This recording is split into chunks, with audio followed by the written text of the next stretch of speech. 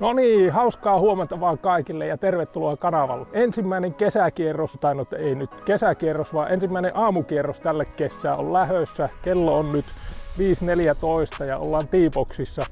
Ja kaverina mulla on tänä aamuna Patu. Patun kanssa ollaan lähdössä pelaamaan Vaaran etu ysi Sankivaarassa. Ja ajatuksena meillä oli vähän katsoa pelistrategisia juttuja täältä, että miten tämä kenttä kannattaisi pelata. Tänä päivänä pelataan takaboksista, eli 60 lähdetään pelaamaan. Mitta on kentässä vähän enemmän. Vaaraa en ole tälle kesää vielä 60 pelannut, että nyt on mielenkiintoista nähdä, että minkälaisia vinkkejä Patu antaa. Ei lätistä tämä enempää, kun lähdetään ihan itse asiaan ja lyömään palloa ja miettimään, että miten tätä etuysiä kannattaa Vaaralla pelata. Ensimmäisenä väylänä par nelonen ja takaboksista greenin keskelle on mitta ottaa 351 metriä. Käännytään vasemmalle. Vasemmalla on punkkeri, oikealla on vähän mettää, vasemmalla on tuommoista rytteikköä, niin miten sinä Patu näet tämän väylän, että kannattaa lähteä pelaamaan? No ihan ensimmäisenä, niin kai meillä on joku pieni peli tässä myöskin, vaikka meillä on strategiaa. Että joo. Pelataanko kahvista vaikka? No joo, passaa oikein hyvin. Hyvä, tärkeimmät ensin. Joo. No, ei, siis tää on ihan klassinen, että nyt tietenkin puhutaan 328 metrin oli taulun mukaan tämä mitta ja, ja Doklekin vasemmalle. Tässä pitää heti tulee, kun mä tuun tähän tiiliin, mä tunnen, että selkä myötäinen.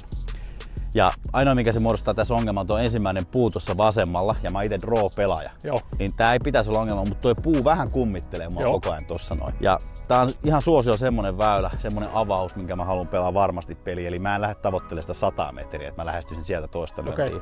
Vaan ihan puhtaasti semmonen stokkilyönti, mikä on helppo lyödä. Joo. Ja tässä tapauksessa mä lyön rauta kolmosen, mikä normaalisti on se, se 210-220 metriä tällä rulliten. Joo. Nyt aamusta ei niin pitkä, eli mulle jää pidempi lähestyminen.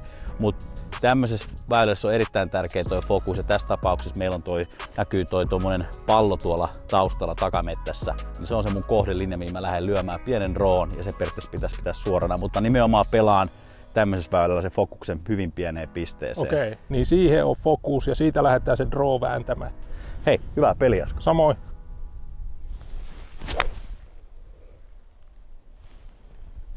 Just like planned. Yllättävän hyvä lyönti heti aamu neljältä vai viideltä. Loistava veto. No mulla on vähän semmonen pläni, samanlainen pläni, että tuota, no yleensä minä tämän pienellä droolla on vetänyt ja se menee tuo ensimmäisen bunkkerin, mikä vasemmalla Joo. on, niin sen yli. Mutta nyt sitten suunta pitäisi olla justiin tuota sataisen lätkää kohti, minne se pallo päätyy. Ehkä vähän vasemmalle puolelle, mutta tuota, kun tuulee tuolta selän puolelta, niin se saattaisi pysyä ihan niin kuin linjassa. Lähti vähän isompana, mutta se on myös tärkeää niin tunnistaa aina, kun pelaa näistä strategian kannalta, niin kuin, että mikä on se turvapuoli. Joo. Ja, ja sitten tietenkin tässä niin kuin selkeästi on vasen ei, se puoli, minne ei pidä lyödä, mutta sitten niin. taas sekä ei saa ottaa vallan siitä niin kuin mentaalista. Että, mutta se pitää vaan tiedostaa, että oikea puoli on se meidän puoli. Kyllä. Anna se vuotaa sinne, jos on vuotaaksi. Joo. Okei, eli meillä on nyt mittaa 35 sanoo kello keskelle kriiniä. 142 lipulla. Joo, ja valkoinen lippu, niin se on pikkusen takaa. Joo, pelaa vähän ylämäkeä toi tosiaan, että varmaan semmonen tällä aamusti voidaan suoraan sanoa, että 150 metrin lyönti. Okei, okay, 150, mm. niin sitten minä sanoisin, että se on rauta seiska. Se ei ainakaan mene pitkäksi. Just, toi ei on hyvä. Eikö se ole takalippu, niin silloin mieluummin musta aikoinaan meidän Espoon Golfseron valmentaja sanoi, että etulippu, kun lippu on edessä, pienempi mailla, kun lippu on takana, ei kun anteeksi, kun lippu on edessä pienempi, isompi maila ja lippu on takana, niin pienempi maila. Edessä isompi ja takana pienempi. Mm. Niin, joo, aivan. Eli jos on etulippu, niin voit vettää pitkäksi, mutta takalippu niin Pienempi. lyhyeksi. Kyllä. Että älä lyö ikinä pitkäksi. Niin. Se on mun mielestä hyvä viisaus tavallaan. No, aika hyvä, joo. Sitoutu. 45 metrinen lyönti. Yeah, bow. Yes.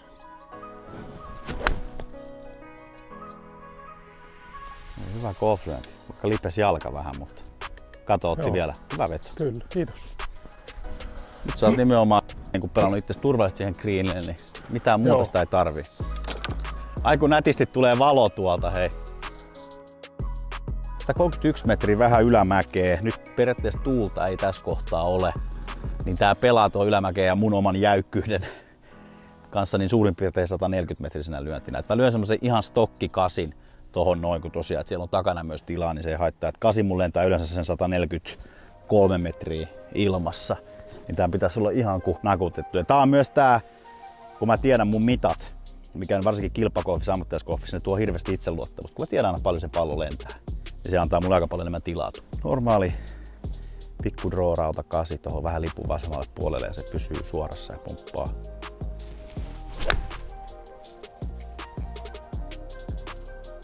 Pikkasen hihaa, mutta se tuuli otti sieltä ja se on vasemmalla, mutta varmaan greenillä. Kyllä, nätti veto. Good miss, niin kuin sanotaan. Aa, tässä tulee tässä vaara niin kuin mahtavat. Mulla on jo heti aamusta niin yksi, kaksi, kolme, kolme eri breikkiä tässä. Niin. Katsotaan miten tuo aamukosteus vaikuttaa. Veikkaa, että se voi olla, voi olla pieni hidastava efekti. No ei se hirveästi hidastanut. Ei kun kauhean. nätisti rullaa nää. Niin. Ihan pieni vase oikea ja ylämäki.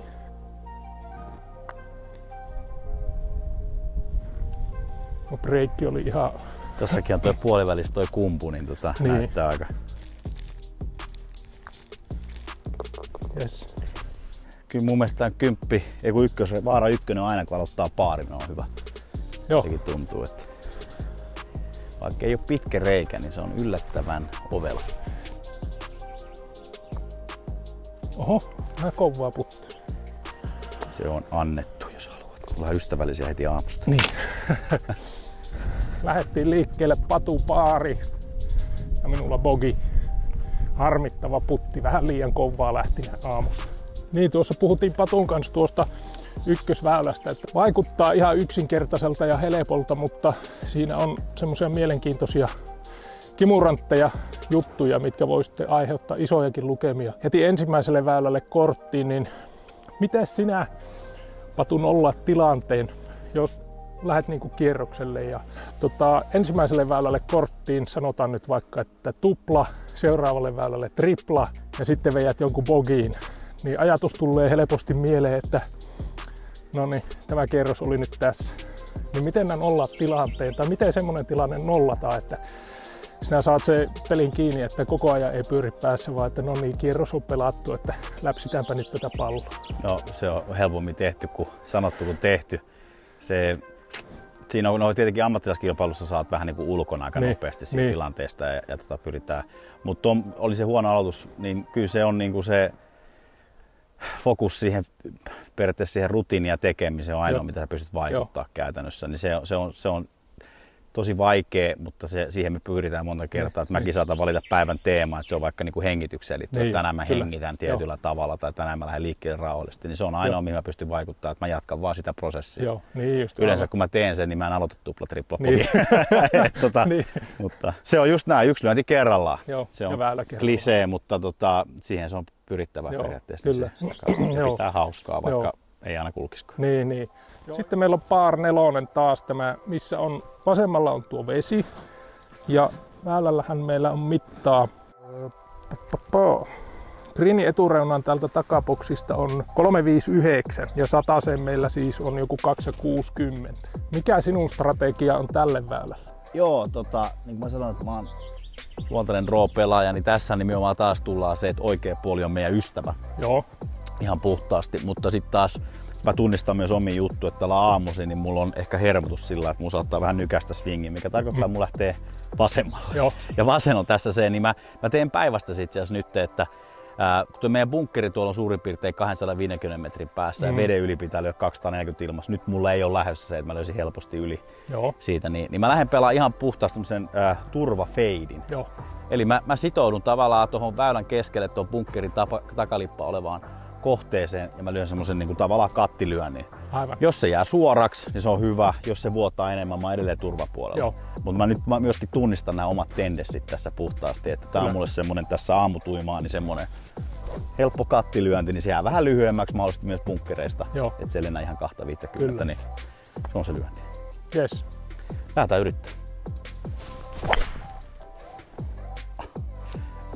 Ei ihan kroppa liiku, mutta se on turvassa. Se on Se turvassa. jäi sinne kyllä. oikealle ja pitää siellä aika lyhyeksi, mutta Sieltä se löytyy. sieltä se löytyy. En lähde lyömään drivea, vaan spoonilla lähden vetämään tämä. Se on itse asiassa ihan oikein mailla tähän niin kuin kaikin puolin mittojen puolesta. Mulla on vaan driveri slice on paljon helpompi, kun se niin. menee vähän pidemmälle. Kuin...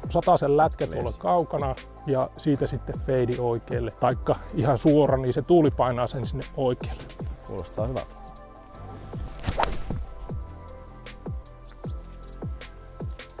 Pelissä. Kyllä. No. Se on just näin, take your medicine ja mennään sinne. Niin. Kyllä.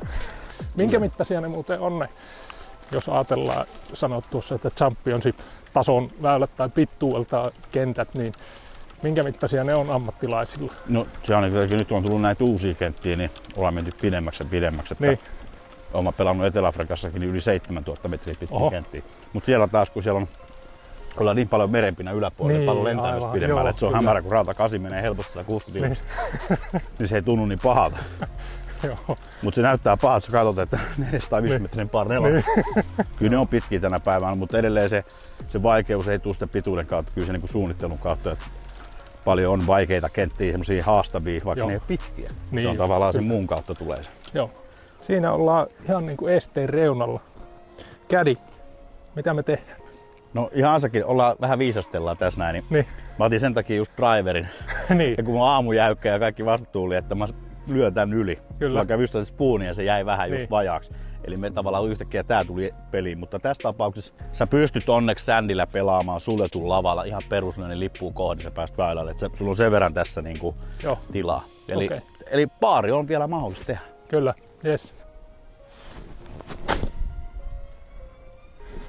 Yes.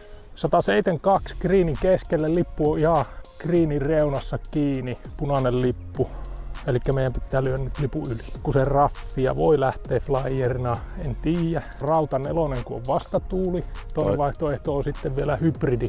Joo, se kuulostaa aika tykiltä, mutta mä sanoisin just tommonen tavallaan niin kuin leikkuri nelonen vähän isommalla tavalla. Sä tähtäät keskelle kriiniin, jos se päätyy jää suoraksi, on hyvä, jos se vuotaa, niin se on aika lähellä lippua. Okei, okay.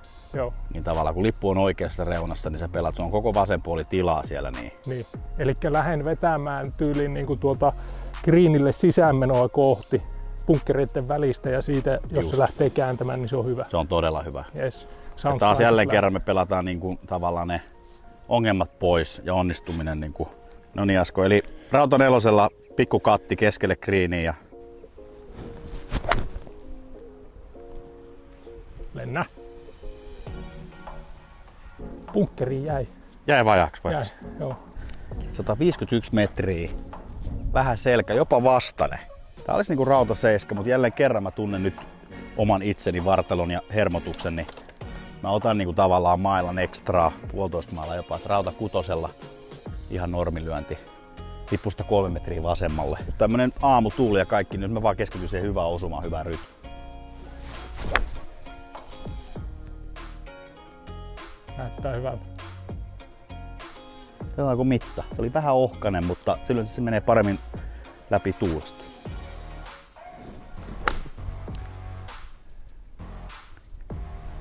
Se oli pinnasta. Se oli ihan pinnasta. Ei, ei tullut semmoista niin kuin piti. Ah, kato! Sama kävi! Siis klassinen, tiedätkö, kun sulla on märkä hiakka, niin sä haluat mieluummin lyödä vähän lähemmäksi palloa. Niin. Sen takia, kun se tavallaan se, se on kovempaa, se bounce niin. kimpoo sieltä, ettei vaan... Niin tota, nyt kävi just, mä olin vähän liian ahne ja kylkeä. Yes.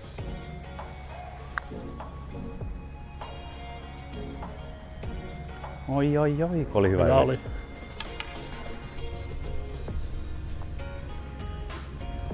Sehän kääntyi kuitenkin. Edellinen väylä patulle paa, öö, bogi. Joo. Ja minulle lumiukko, eli kahdeksan. Nyt saahan taas miettiä, että miten tämä peli saadaan nyt käyntiin.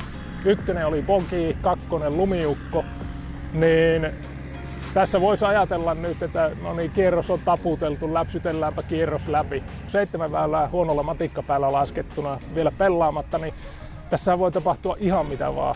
Että ne kaksi ensimmäistä väylää ei merkkaa vielä yhtikäs mitään. Nyt ollaan väylällä numero kolme, Par Kolomonen. Ja mittaa tällä väylällä oli...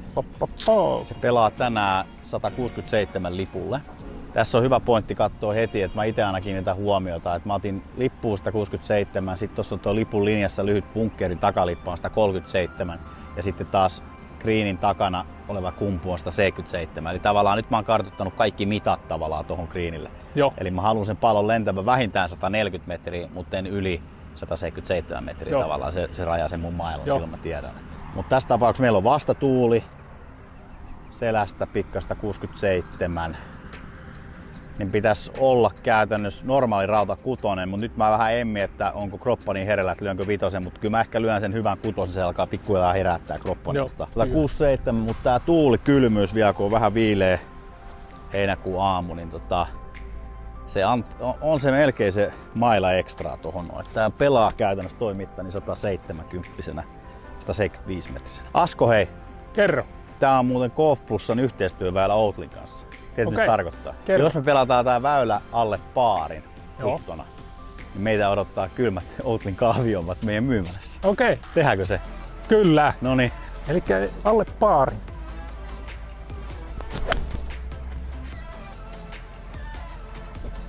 Pidä. Pidä. Ei, kun punkkeri. Se ei, tiedätkö, se pallo ei vaan tänään, tää kylmä aamu. Ei, se ei vaan lennä. Mut hei, yksi chippi sisään ja yksi up and down.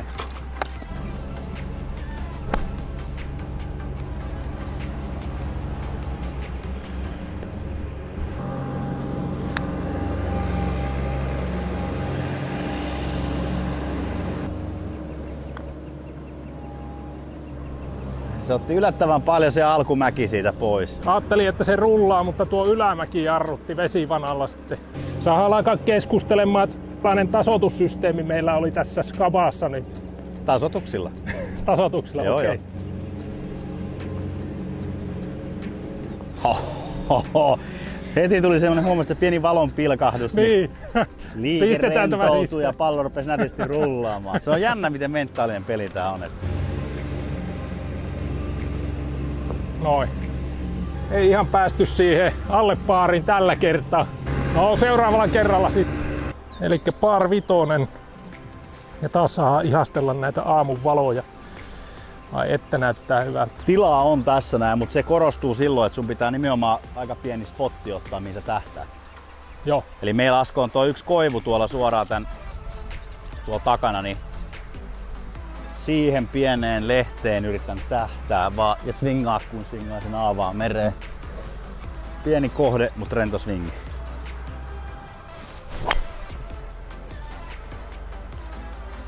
Vähän jäi oikealle. Siellähän se on. Se oli ihan hyvä missi, se vähän vuosta. Kyllä, siellä missä se pitääkin olla.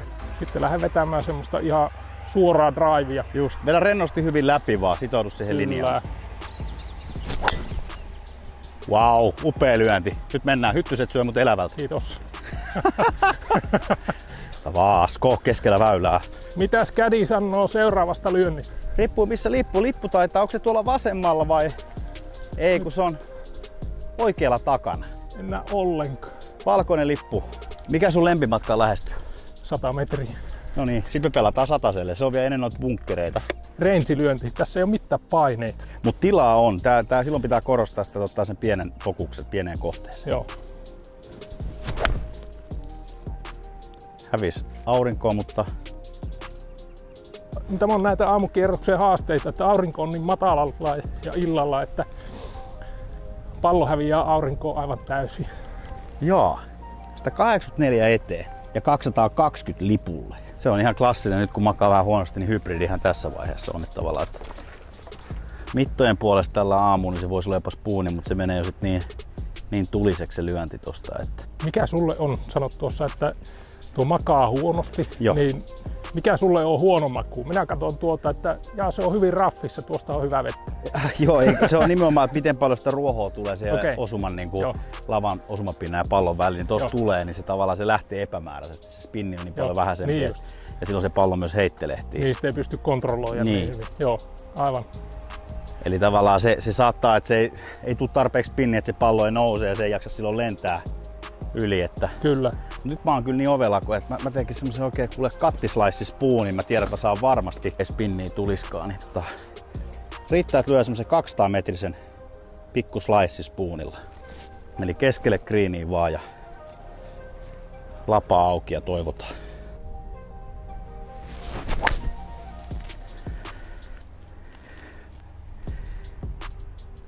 Tänne vaan lähettää enemmän vasemmalle. Löytyy.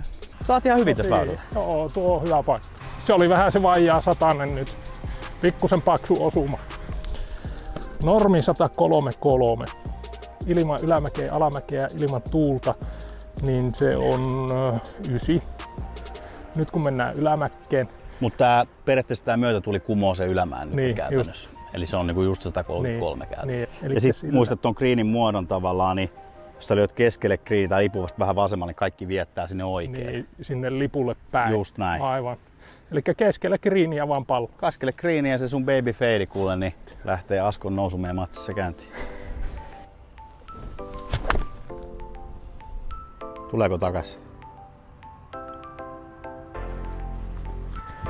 Joo, siinä se on keskellä greenia takatasanteella. Joo. Joo, lyönti jälkeen, kun tuossa katto, niin melkein 45 astetta vasempaa. Mutta tässähän muodostuu nyt teema periaatteessa loppukierroksella aika hyvin, kun mä itse huomaan, että mun tavoite on tehdä tavallaan niin kuin puhutaan saumattomasta suunnanvaihdosta. Eli Joo. kun mä teen kierron, sit se vaan niinku, mä en yhtään yritä antaa mistään mitään ekstra, vaan mä antaisin vaan niinku maailman tipahtaa. Joo. Helpottuu osumat kaikki. En mä lyö hutia siitä pallosta, että mun ei tarvitse pakottaa sitä osumaa. Niin, kyllä. Etkä sinäkään. Kyllä.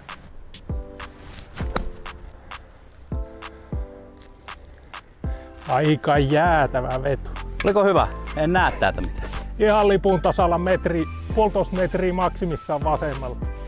Tiedätkö mikä on Asko hauskaa? Kun on pelannut paljon proomia ja kaikkea ja sitten nämä mun amatööripelikaverit jännittää, että voi ei, älä me bunkkeri, me bunkkeri. Mä aina päinvastoin, että me emme ole bunkkeri, koska Kyllä. tää on paljon helpompi lyönti kuin raffilyönti, kun sun tarvitsee sun palloa täällä. Niin. Tässäkin on Asko sitten, jos sä kävit kattoon, niin heti tässä kupin jälkeen, niin tää on tämmönen.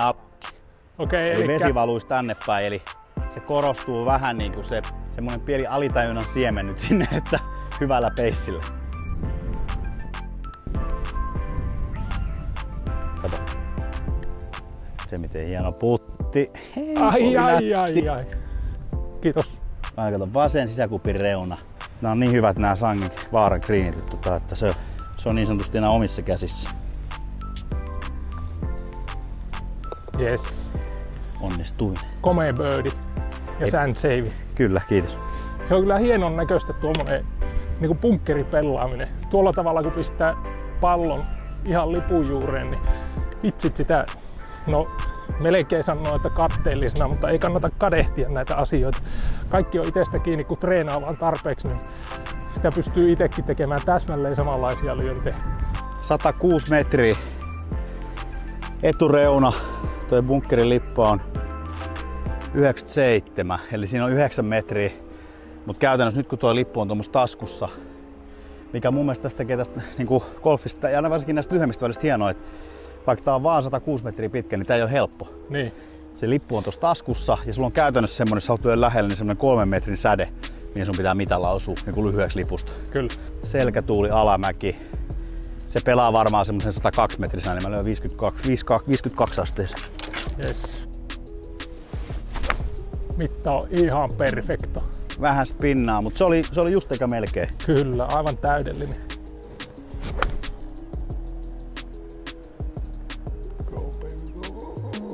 Tiedätkö Asko, että nämä, nämä kriitot on niin hyvässä kunnossa, että sä pystyt säkin tää pidemmältäkin.